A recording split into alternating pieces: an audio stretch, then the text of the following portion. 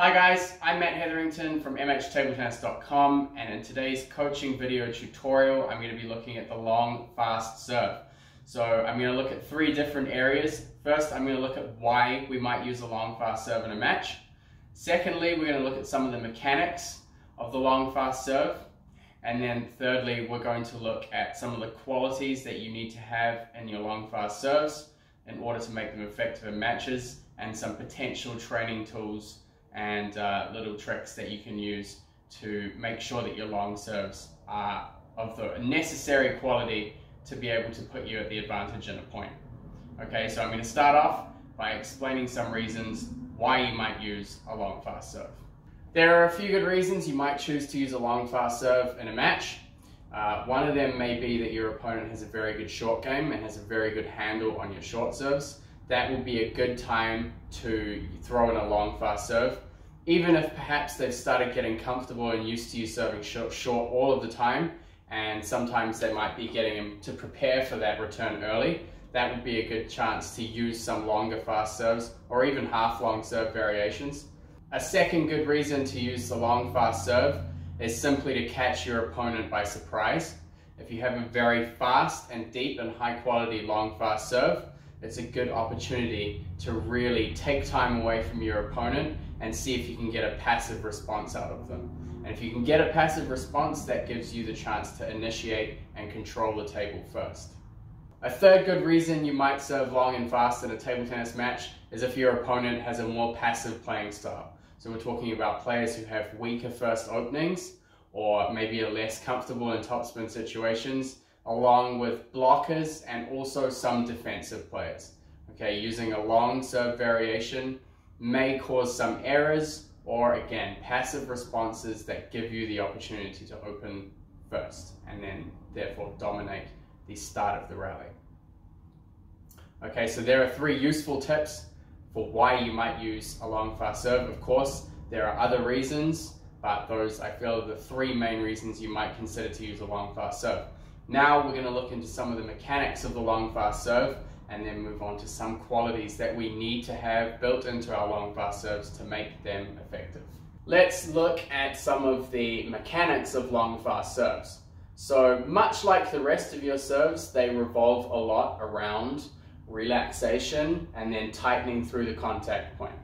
With the short serves, you're trying to generate a lot of grip and the trajectory is driven by your body, but the amount of spin that you put on the ball usually slows the ball down. So you're focusing your acceleration on gripping the ball and creating rotation. With the long fast serve, you need to change that a little so that you're using more of your body weight acceleration to create momentum forward into the ball, therefore creating the long service motion and the speed that you need to create a long fast serve.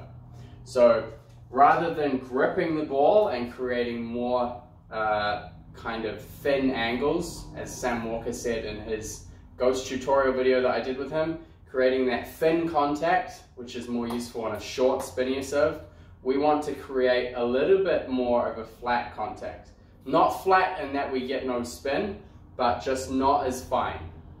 Okay, so when we're preparing for a long fast serve, and a good place to start was with the pendulum, when we're bringing our body weight backwards, we really want to push into that ball more. So there's a lot more rotation from the waist into the ball contact, and we're really trying to drive our weight into that first contact to the table so that we can get the ball to go long and fast.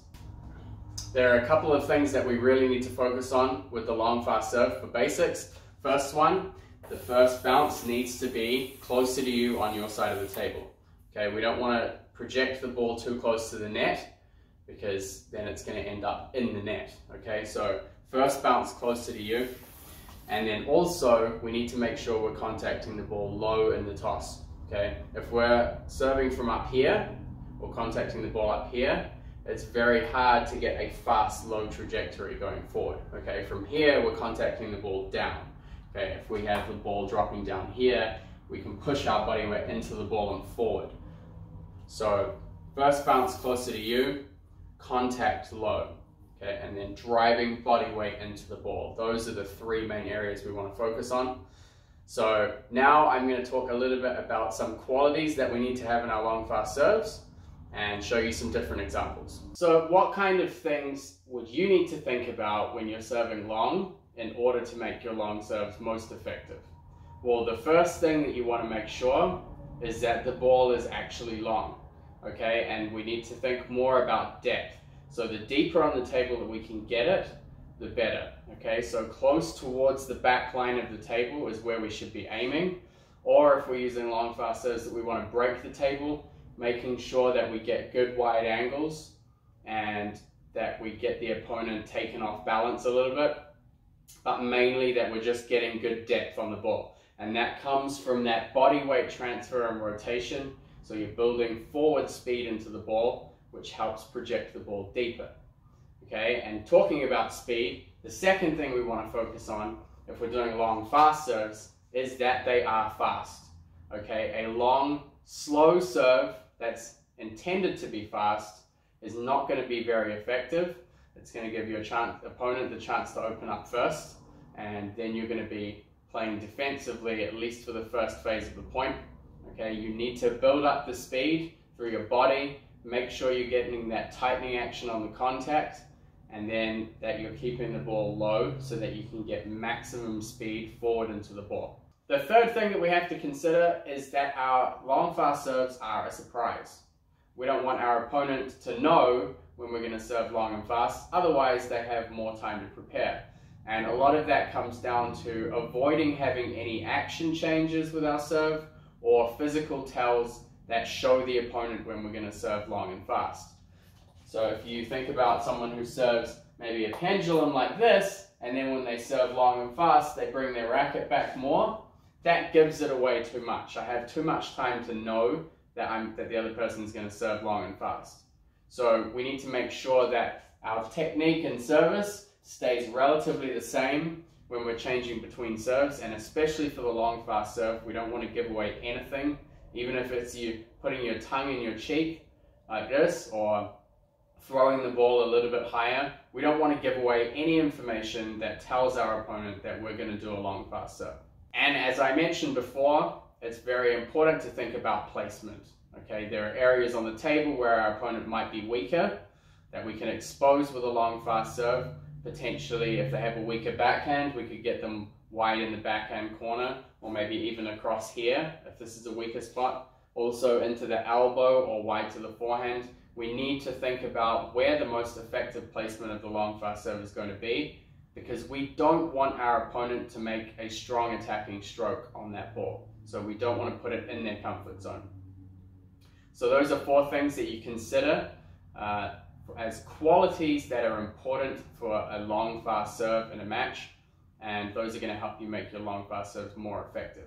So now I'm going to demonstrate some of those points and show you some tips on how you can work on those. A good way that we can start off by looking at the depth of the serve is to grab a towel or an item of clothing and put it on the table so that we have to serve past that item. Okay, so I put the towel down with a small gap at the end I want to make sure I'm getting all of my long fast serves into that gap. And this is a good way to practice the depth of the serve. And we really want to focus on building acceleration through the contact but also in using the waist and the core to accelerate into the ball. And that helps drive it further towards that baseline of the table.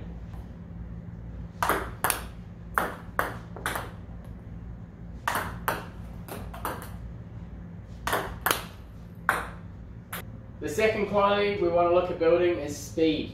And this can be as simple as getting an empty box and putting it right at the edge of the table. And we're going to try and build up speed so that we can knock the box off the table using our serve. Okay, so if you serve too slow, it's not going to have any impact on the box at all. We have to build up that acceleration to try and put some forward force into the ball, and that's going to help us knock the box off the end of the table.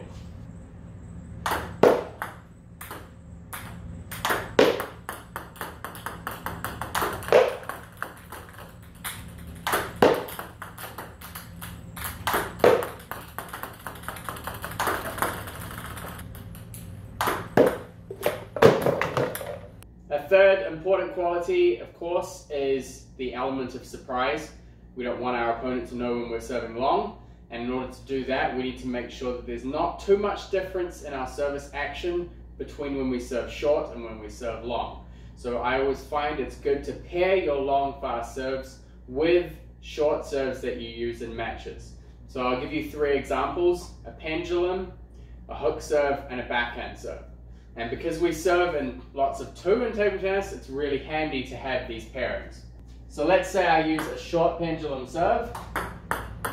I can also use a long fast variation of this serve by adding more acceleration and more forward momentum. Okay, with the hook serve, I can do a top spin kick, or I can flatten my racket out and serve long and fast. Then if I come around for my backhand, I can serve a short variation or I can serve long and fast. The fourth area, of course, that I spoke about was placement. And a great thing that you can use for this is to find a broken ball around your house or at the table tennis club and use it for target practice. Now, using a target that's small like a ball really helps with your precision.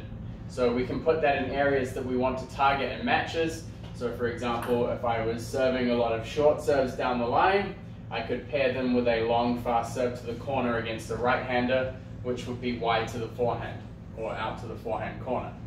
Okay, so while I'm doing these serves, I can make small adjustments to try and pinpoint and really improve the consistency of my placement.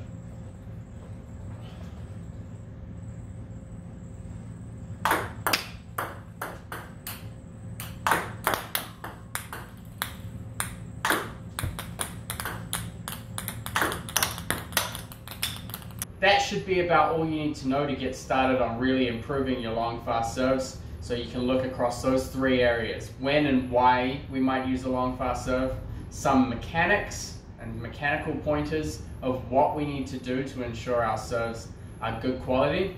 And then I think most importantly is making sure those four characteristics are really at the highest standard possible and we can use some of those tools that I've just demonstrated to you in order to improve and work on those areas of the long fast serve.